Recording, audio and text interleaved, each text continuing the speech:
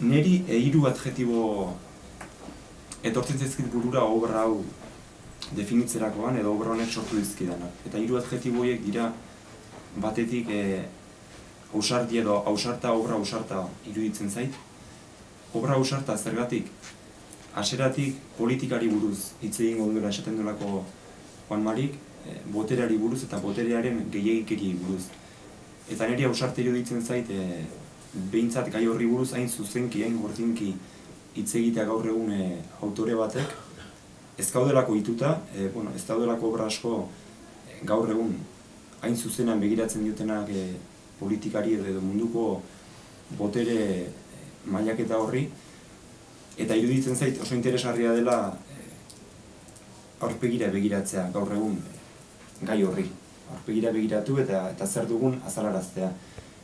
Gaur egun ohitu gaude bueno, pixkat e, politikari buruz e, zeharka hitz egiten, e, pixkat itzuli muruka, e, esan gabe esate horretan, e, pixkat metafora bidezko nolabait ere interesgarriagoa e, iruditzen zaigu edo ematen du izan behar lukeela, baina nik uste egun askotan e, okertzen garela uste horretan, eta horregatik niri hausarte iruditu zait e, obra. Bigarrenik, e, berezia egin zait oso, zentzu honean berezia, Eta berezia zergatik, e, alde batetik, gaia kokatzeko izan duen ideiaren gatik.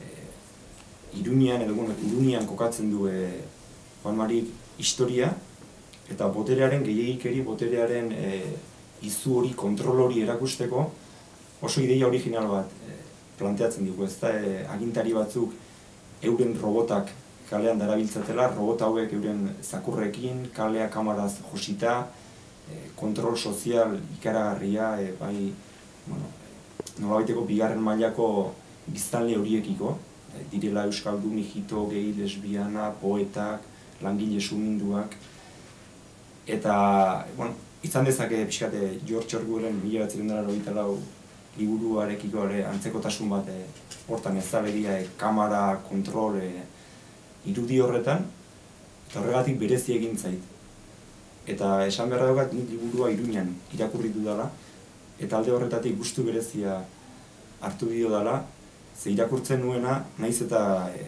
karikaturizaturik egon eta naiz eta e, alako gehiagikeria bat dirudien e, benetan bizi dugun zerbait da. Bai iruñan eta tamalez e, bai e, mundu guztian zehar e, kamararik ez du ikusten edo bai robotik ez dago kalean baina badaude e, kontrola ez da ikusten baina badago Orduan, e, berezitasun horretan eta eta karikaturizazio horretan, nik uste oso ongi esmatu duela benetan gertatzen dena erakusten. Eta baita berezi egin zait liburua e, darabiltzan etengabeko hitz jolasetan hitz jokuetan. E, bueno, irakurtzen duzunean, e, ohartuko zarete zegraziarekin e, erabiltzen dituen hitz joku horiek, e, jolas horiek, eta irakurtzeko oso, oso atsegin dira. Eta azkenik, hirugarren e, bueno, hitza edo edo indarra indarra edo indartsua iruditzen zait liburua. Zergatik indartsua? Ba, zuzenean gazteari mintzu zaio edo irakurleari eta aseratik esaten dio. E, mugitu adi, aserretu adi. Ezak politikaz paso egin, politika dena du.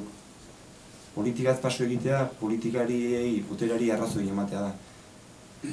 E, hitz oso indartsuak erabiltzen ditu, e, solidaritatea, e, lana, e, sumindura edo aserrea, e, kompromisoa, pixka bat, mai gainean kolpe bat ematen duela iruditzen zen liburu honek, eta bat ipat, e, pixka bat, lo dauden kontzintzeriok edo lo dauden e, persona horiei alako ez abrazteko txo bat ematen die, eta pixka bat begiak ireki ditzaten eskatzen die, proposatzen die, eta nik uste e, lortzen duela